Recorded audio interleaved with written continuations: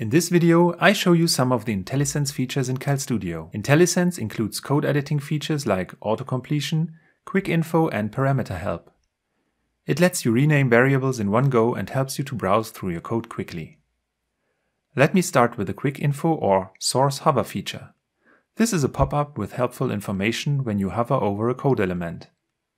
Hovering over a function call, the signature and documentation is shown, which you can scroll through. Variables reveal their type.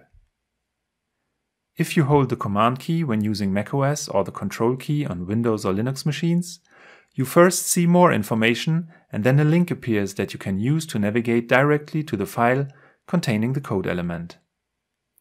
The file opens in a new window so that you can examine the code and switch back easily to the place where you have left off. Using a right click on the code element, you can use the peek option to see the code as an overlay on the currently opened file. You can even check all references of the code element by selecting Peek References. In the overlay, you can browse through the code as well.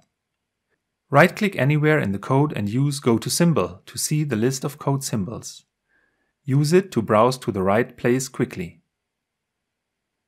Code editing features help you to write code faster.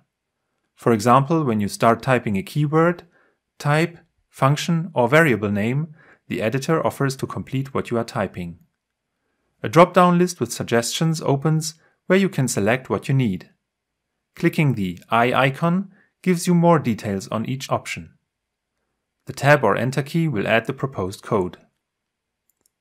To see a list of current errors in your project, switch to the Problems view.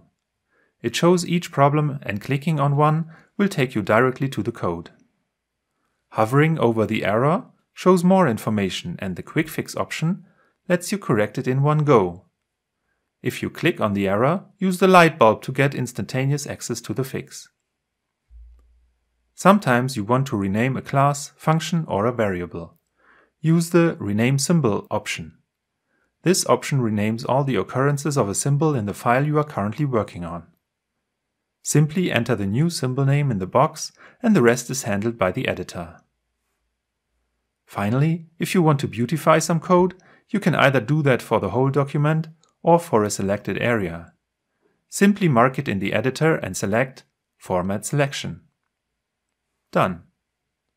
There are more cool features of IntelliSense available, such as refactoring and code linting, so I suggest to take a look at the online documentation.